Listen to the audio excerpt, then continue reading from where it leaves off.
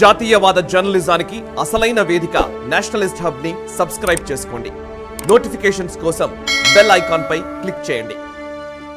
నమస్తే నేషనల్ స్టెప్కు స్వాగతం. నేను భారతి. ఇక వివరాలకు వెళ్తే ఢిల్లీ మద్యం పాలసీ కేసులో తొమ్మిది గంటలకు పైగా బీఆర్ఎస్ నేత ఎమ్మెల్సీ కవితను న్యూఢిల్లీలో ఎన్ఫోర్స్మెంట్ డైరెక్టరేట్ కార్యాలయంలో విచారించారు. మార్చి పదహారున విచారణకు రావాలని ఆమెకు మళ్ళీ ఈడీ సమ్మన్లు జారీ చేసింది.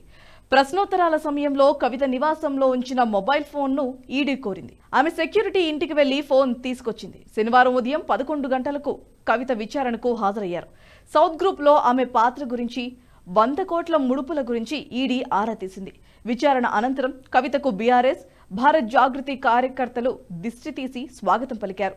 ఒక జాయింట్ డైరెక్టర్ డిప్యూటీ డైరెక్టర్ స్థాయి మహిళా అధికారి liquor scam investigation officer Jogender మరో ఇద్దరు అసిస్టెంట్ డైరెక్టర్లు ఆమెను విచారించారు. Prevention of money laundering act section fifty కింద కవిత స్టేట్మెంట్ రాతపూర్వకంగా రికార్డ్ చేశారు. లిక్కర్ స్కామ్లో ఇప్పటివరకు సేకరించిన ఆధారాలపై పలు ప్రశ్నలు వేశారు. ఆమె మాజీ ఎడిటర్ అనుచరుడు అరుణ్ పిల్ల ఇచ్చిన స్టేట్మెంట్పై ప్రశ్నల వర్షం కురిపించినట్లు సమాచారం. అయితే విచారణ అనంతరం ఈడీ ఆఫీస్ నుంచి బయటకు వచ్చిన ఆమె నేరుగా కేసీఆర్ నివాసానికి చేరుకున్నారు.